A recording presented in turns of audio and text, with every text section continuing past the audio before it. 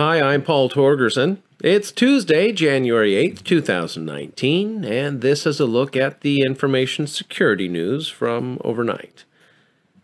From ZDNet, a team of academics and security researchers published a paper today detailing a new side channel attack that is effective against operating systems like Windows and Linux.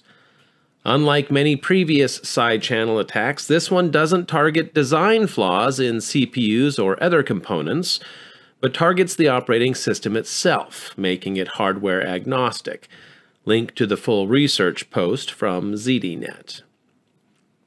From Bleeping Computer, kitchen utensil manufacturer OXO International disclosed a data breach that spans numerous periods over two years. The breach notification states that customer and payment information may have been exposed between June 9th and November 28th of 2017, June 8th and 9th of 2018, and between July 20th and October 16th of 2018. There is some evidence to suggest that these were, at least in part, a Magecart attack. From the register, a newly spotted piece of hybrid malware steals copies of victims' files, then encrypts said data and demands a ransom to unscramble it. The malware, named Vidar, combines the GandCrab ransomware with parts of the Arkei data harvesting Trojan to create a two pronged attack. According to Malwarebytes researcher Jerome Segura, the infection has been spreading in the wild via malicious advertising being piped into torrent and video streaming sites. Get the details from the register.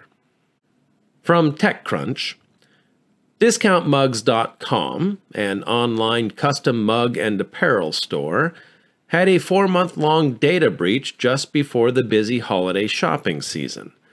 The company said that hackers siphoned off credit card numbers from customers who made orders through the site between August 5th and November 16th, 2018.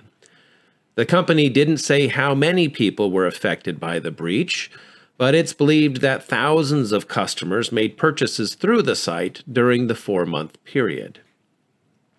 And last today from ZDNet, you know, there are some scumbags that even scumbags don't want to hang out with.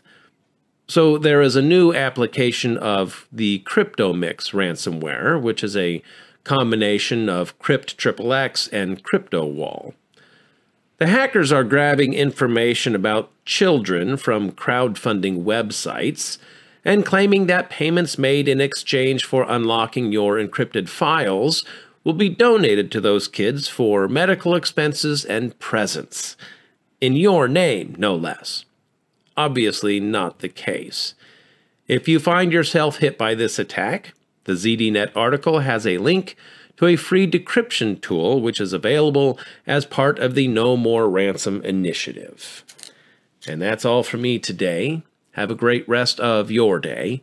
And until tomorrow, be safe out there.